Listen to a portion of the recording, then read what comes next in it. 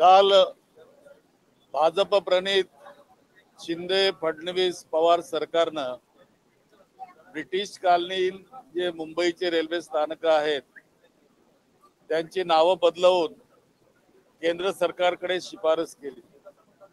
गेल्या अनेक वर्षापासून सातत्यानं दादर स्टेशनचं नाव बदलवून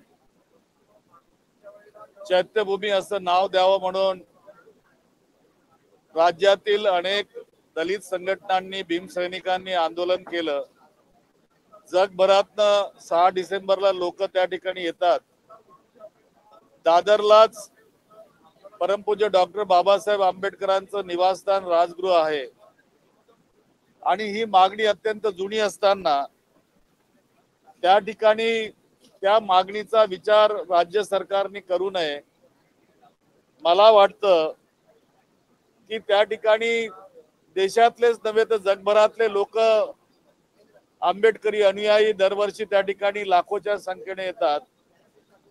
आणि ही मागणी अत्यंत रास्त अशी होती. ज्या लोकांनी मागण्या केल्या नाहीत त्या रेल्वे स्थानकाचं नाव बदलवण्यात आलं.